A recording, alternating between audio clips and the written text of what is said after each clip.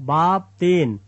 اور اے بھائیو، میں تم سے اس طرح کلام نہ کر سکا جس طرح روحانیوں سے، بلکہ جیسے جسمانیوں سے اور ان سے جو مسیح میں بچے ہیں۔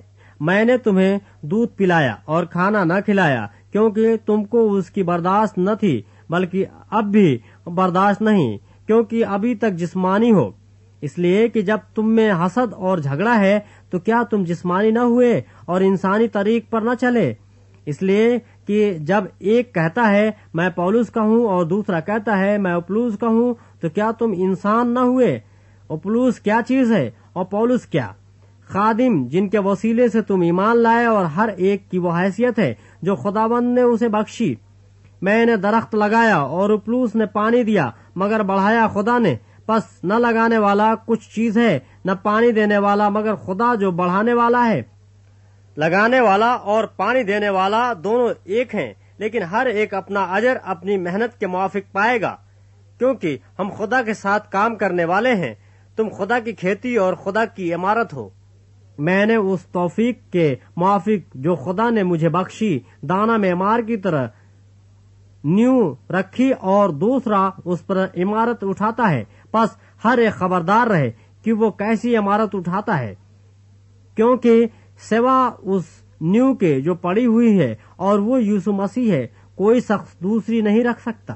اور اگر کوئی اس نیو پر سونا یا چاندی یا بیچ قیمت پتھروں یا لکڑی یا گھاس یا بھوسے کا ردہ رکھے، تو اس کا کام ظاہر ہو جائے گا، کیونکہ جو دن آگ کے ساتھ ظاہر ہوگا، وہ اس کام کو بتا دے گا۔ اور وہ آگ خود ہر ایک کا کام آزما لے گی کہ کیسا ہے، جس کا کام اس پر بنا ہوا باقی رہے گا، وہ اجر پائے گا۔ اور جس کا کام جل جائے گا، وہ نقصان اٹھائے گا، لیکن خود بچ جائے گا، مگر جلتے جلتے۔ کیا تم نہیں جانتے کہ تم خدا کا مقدس ہو اور خدا کا روح تم میں بسا ہوا ہے؟ اگر کوئی خدا کے مقدس کو برباد کرے گا، تو خدا اس کو برباد کرے گا، کیونکہ خدا کا مقدس پاک ہے اور وہ تم ہو۔ کوئی اپنے آپ کو فریب نہ دے۔ اگر کوئی تم میں اپنے آپ کو اس جہاں میں حکیم سمجھے تو بیوقوف بنے تاکہ حکیم ہو جائے۔ کیونکہ دنیا کی حکمت خدا کے نزدیک بیوقوفی ہے، چنانچہ لکھا ہے کہ وہ حکیموں کو انہی کی چالاکی میں پھنسا دیتا ہے۔